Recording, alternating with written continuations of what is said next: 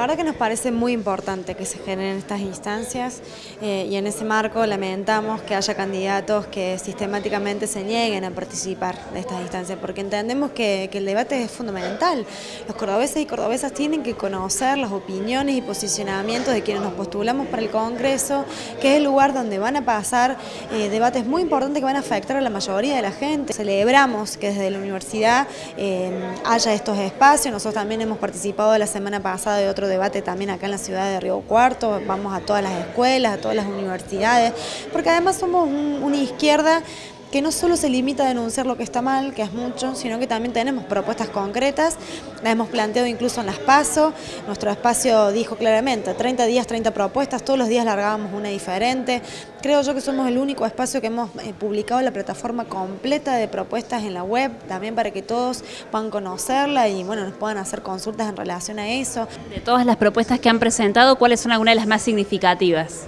Es difícil seleccionar porque tenemos muchas, eh, bueno, nosotros por ejemplo una de las problemáticas que tomamos muy con mucha fuerza es la problemática de género, porque tenemos referentes como Margo Acosta en nuestra lista, entonces ya tenemos el proyecto elaborado para que se declare la emergencia a nivel nacional, al igual que ya lo, propusimos en la legislatura en su momento, en la provincia de, Córdoba, digamos, con la construcción, con presupuesto para la construcción de refugios, planes de contención psicológica, jurídica y económica para las mujeres, tenemos también un proyecto elaborado de remediación ambiental